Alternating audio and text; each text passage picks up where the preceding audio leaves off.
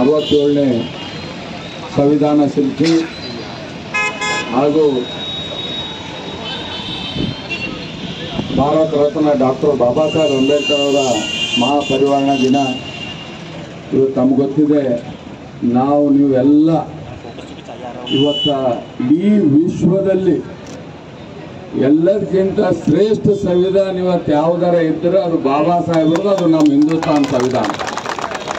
ಅಂತ ಒಂದು ಸಂವಿಧಾನ ಕಾಪಾಡೋದು, ಮಟ್ಟದು ಎಲ್ಲ ನಮ್ಮ ನಿಮ್ಮ ಕರ್ತವ್ಯ ಇದೆ.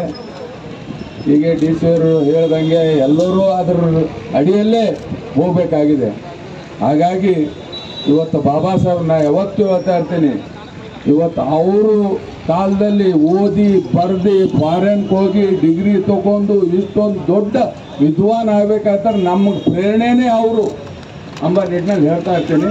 ಹಾಗಾಗಿ ಇವತ್ತೇನು ಅವ್ರದ್ದು ಮಹಾಪರಿವಾರಣ ಜೀವನ? ಇವತ್ತು ನಾವು ನೀವೆಲ್ಲ ಸೇರಿ ಮಾಡ್ತಾ ಇದ್ದೀವಿ ಅದು ನಮಗೆಲ್ಲರಿಗೂ ಮುಂದಿನ ದಿನಗಳಲ್ಲಿ ಪ್ರೇರಣೆಯಾಗಿ ಅವ್ರ ಮಾರ್ಗದರ್ಶನದಲ್ಲಿ ಹೋಗೋಣ. ಸಂವಿಧಾನ ಅಡಿಯಲ್ಲಿ ಸಂವಿಧಾನ ರಕ್ಷಿಸಿ ಸಂವಿಧಾನ ಅಡಿಯಲ್ಲಿ ಹೋಗೋಣ ಅಂತ ಹೇಳಿ ಹೇಳ್ತೀನಿ. ನಮಸ್ಕಾರ.